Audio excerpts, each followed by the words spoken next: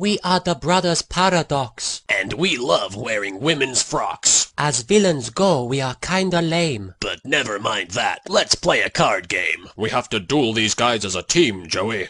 That means you do everything I say, you got that? Duh, okay. We are villains who like to rhyme. In fact, we do it all the time. You may think it's rather crass. But you can stick your cards right up your nose. You were supposed to say ass, brother. I thought we rehearsed this. You have tricked us with your magic box. We invite you to suck on our cock. Cool, blimey. Against our gate guardian, you stand no chance. I'm not wearing any underpants. Is that true, brother, or are you just rhyming? I didn't want to throw off our timing. But it is true. Joey, it's time for a surprise attack. No worries, Yug. I got your back. Hang on a second, are we rhyming too? Don't ask me, I ain't got a clue. This is like something out of Dr. Seuss. I can't stop staring at Yugi's caboose. Everyone seems to have gone all rhymy. Shut the hell up, you stupid limey. It seems that we ran out of luck. It's just a card game. Who gives a f-